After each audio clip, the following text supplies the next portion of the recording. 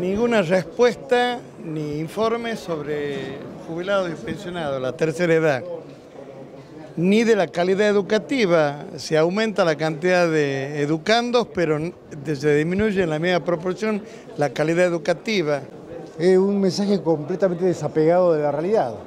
Eh, se parece mucho más al relato de Cristina Kirchner que a lo que nos pasa en los tucumanos. Hay cosas que en estos 12 años han empeorado, como la seguridad, como la drogadicción, como la generación de empleo, como la falta de producción de nuestros pueblos, y creo que son las materias pendientes que a partir del 2015 tenemos que todos los tucumanos en conjunto ponernos a trabajar, fundamentalmente entre todos. Esperaba que se hable un poco más sobre un llamado al consenso, un llamado a todos los sectores eh, de la provincia de Tucumán, creo que es lo que hacía falta, hablar un poco más de cómo podemos mejorar la calidad institucional de, Tucumán, hablar de que el Poder Ejecutivo cumpla su función, del que el Poder Legislativo realmente cumpla su función y que un Poder Ejecutivo cumpla la verdadera función que necesitaba. Hoy tenemos en materia de seguridad un aumento tremendo del narcotráfico, eh, la gestión de Alperovich le va a dejar a los tucumanos el flagelo del Paco y fundamentalmente el flagelo de miles de jóvenes adictos que no tienen un lugar donde poder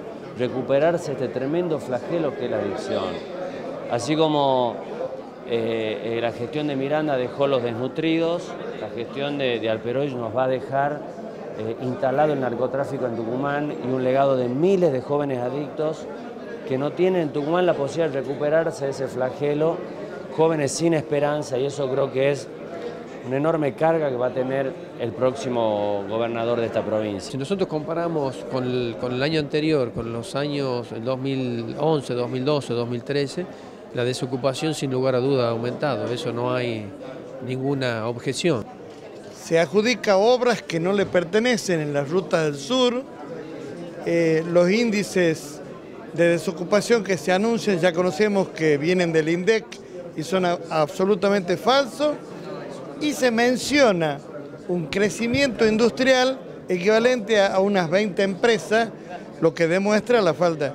Nada de la electrificación, nada de conseguir efectivamente agua, se habla del crecimiento de los, usuarios del sistema de salud y cloaca y no de las permanentes restricciones al libramiento del servicio de agua y al libramiento de luz eléctrica. Creo que faltó mea culpa, Faltó pedir perdón para oportunidad perdida en Tucumán.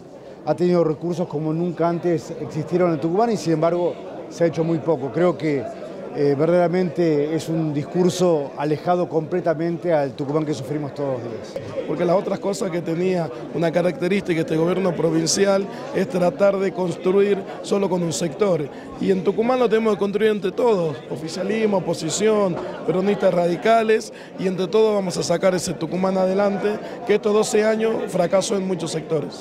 Me hubiese gustado escuchar también, eh, cuando hablan del tema de seguridad, que qué se va a hacer con aquellos policías que han estado involucrados en muchos delitos, cuál iba a ser la medida, creo en esto que hay que tomar una medida absolutamente dura. Creo que esta rendición de cuenta no ha, revelado, no ha mostrado ninguna de las falencias o errores que se pueden haber eh, incurrido en 11 años, casi 12 de gestión.